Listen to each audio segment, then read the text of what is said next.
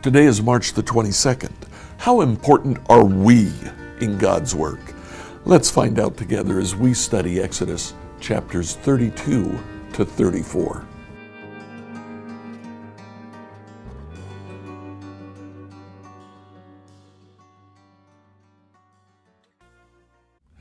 Today, I'd like you to take the time to read Exodus chapters 32 to 34.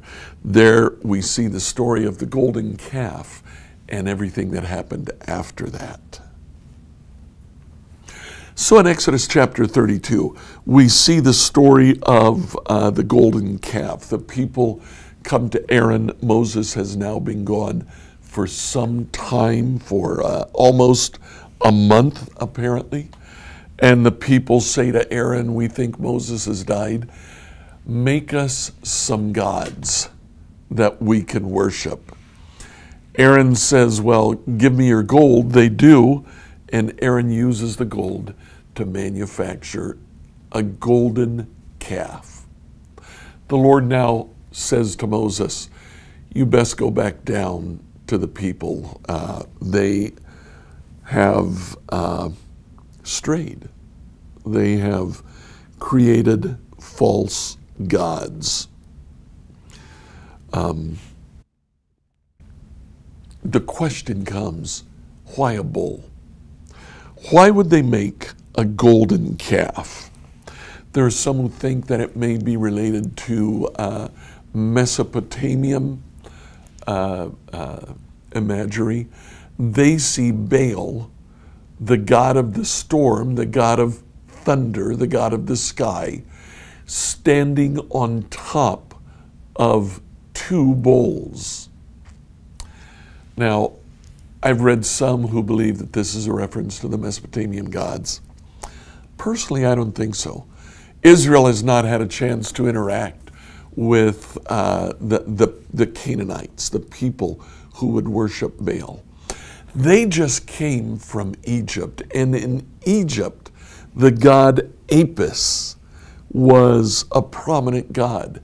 Apis was a bull. They would actually keep a bull, and for the lifespan of the bull, about 20, 25 years, they would worship that bull. When that bull died, they would actually mummify that bull, and that bull would take its place along with Pharaoh as a god in the Egyptian pantheon. Now, Apis, um, as a god of Egypt, emerged from the fires of the sun. It's interesting that that is exactly what Aaron says. Um, Aaron says, They gave me in verse 24 I told them, whoever has gold jewelry, take it off when they brought it to me. I simply threw it into the fire, and out came this calf, Apis. Apis, as a bull, was uh, that they would, on a yearly basis, bring the bull from the temple of the sun god and have him run through the fields just before the Nile would overflow its banks and fertilize the fields along the Nile. They thought that Apis was the one who would bring that rejuvenation and that fertilization. Apis brings fertility and new life, just as Israel has now left Egypt and now looks to have new life personally, I think the uh, manufacture of a bull harkens back to Egypt, to what the Israelites would have observed on an annual basis the running of the bull through the fields of the Nile, so that uh, the Nile would overflow its banks, fertilize the land, and they would have food. Well, Aaron uh, creates that uh, uh, golden calf, and as a result, Moses took the tablets. Now, notice in uh, Exodus chapter 32 16, the tablets were God's work. The words on them were written by God Himself. When Moses looks at, at Israel and realizes what they've done, uh, chapter uh, 19, when they came near the camp, Moses and Joshua, Moses saw the calf and the dancing, and he burned with anger. He threw the stone tablets to the ground, smashing them at the foot of the mountain. So Moses took God's law and he said essentially, You don't deserve the word of God. And he destroyed it. Now, there's a punishment that ensues. Moses calls those who are faithful and he says, uh, Go through the crowd and kill those who are responsible for asking for the bull. About 3,000 people died that day. The Lord says to Moses, uh, I'm done with, with this people. I'm just going to take you and make a great people of you.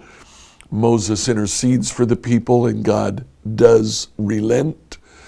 And um, God comes to Moses and says, I will make a great people of you. Chapter 33, verses 1 to 11.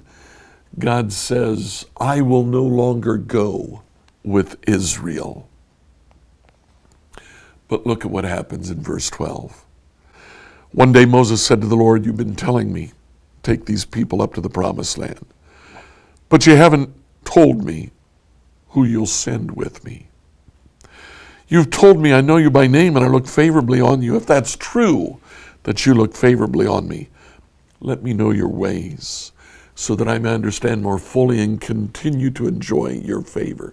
And remember, this nation is your very own people. The Lord replied, I will personally go with you, Moses, and I will give you singular rest. Everything will be fine for you, Moses. And then Moses said, Oh, but if you don't personally go with us, not just me, but the entire people of Israel, don't make us leave this place.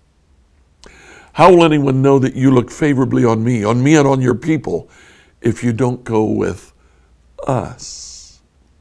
For your presence among us sets your people and me apart from all other people on the earth. And the Lord replied to Moses, I will indeed do what you've asked, for I will look favor- favorably on you, plural. And I know you, plural, by name. Now, in verse 34, there is a new copy of the book of the law. This is kind of uh, the book of the law, part two. Uh, some of the laws are repeated. Uh, there are some new things that God says, but as he says this, he talks to Moses, and Moses' face begins to shine. How important are we for God's work? Apparently, very important. Moses interceded for the people of Israel, and God relented. And he said, Okay, I'll go with all of you. Moses carried God's splendorous presence. I don't even know if that's a word. But God shone as he talked to Moses, then Moses went to talk to the people, and his face shone as well. How important are we in God's plan? Extremely important. God works his plan through us. Find out your place in God's plan today. Let him work through you like, follow, and subscribe to this podcast on whatever platform you use to listen to it. Tomorrow, we'll ask the question Are we supposed to fear God?